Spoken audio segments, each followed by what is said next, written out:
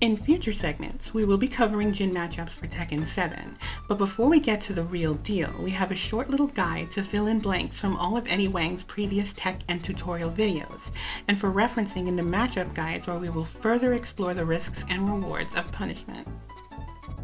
The goal of this guide is to help turn any beginning Jin players from this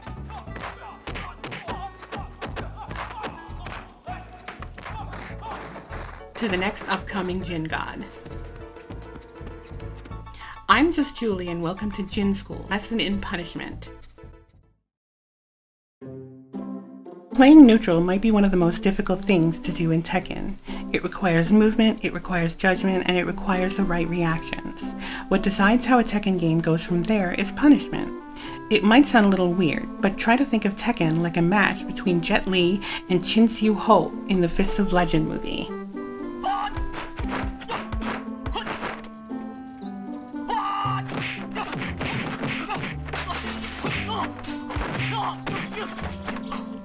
Punishment with Jin always has its own risks and rewards. For now, we'll consider four moves that employ four different ways to approach punishing whiffs. Back to 1, the easiest mode.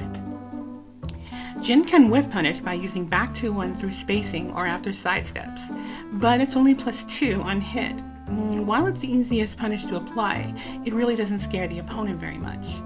It does have its uses, but it's not optimal in the long term since in many matchups, Jin wants to stay far away and back to 1 leaves him very close even on hit. However, because it is plus 2, it can be helpful with his shimmy game. 2-4 is the commitment punish. 2-4 is just as easy as back to 1, but it can be risky. While it ensures a knockdown on hit, the second hit is easily ducked and launched if the opponent blocks the jab. Pretty big commitment. Still, it's no harder than back to one and leads to a knockdown game. In this shimmy game, its ease of use means Jin can sidestep jabs and then 2-4, just like in Fist of Legend where linear moves are mostly stepped.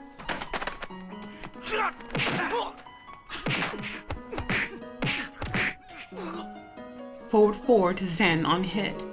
This is much harder than the previous ones, and while it is almost the same thing, the main reason to use forward 4 is getting mix-up games with crouch dash 4 and zen cancels.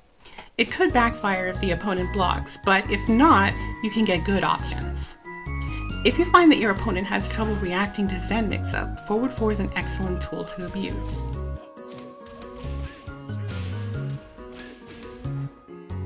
Electric whiff punishing. This is the best option for punishing. While it doesn't deal with lows, Crouch Dash 1 will cover that. Electric Wind Hook Fist animation is just as fast as any jab and is plus 5 if blocked. On hit, it grants Jin a full combo, which can steal life leaves, and while it is high, the real challenge to using this move as a whiff punishment is in its execution. A player needs to be confident and prepared enough to execute an electric as fast as possible in order to clip anything including jabs on whiff. For this reason, Jin players need to spend hours in practice mode honing their electrics on either side. Eddy Wang has a great electric exercise video which shows a good routine for backdashing and sidestepping. Be sure to learn to space properly and be ready to step into a perfect position and immediately electric. You want opponents to fear you and hesitate to throw anything at Jin while he's doing wave dashes. Yes, it can be super difficult for beginners to get consistent, but there is no shortcut. You just have to practice. Eddy's tips for learning electrics are usually the same. Hit down, forward, and 2 at the exact same time at the end of the electric motion. Having difficulty?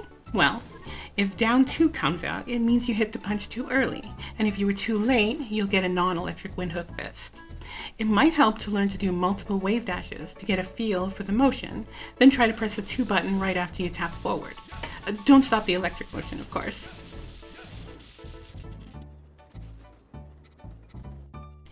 Hey everyone! This video was narrated by Just Julie, scripted and edited by Eddy Wang, and supervised by Ghost.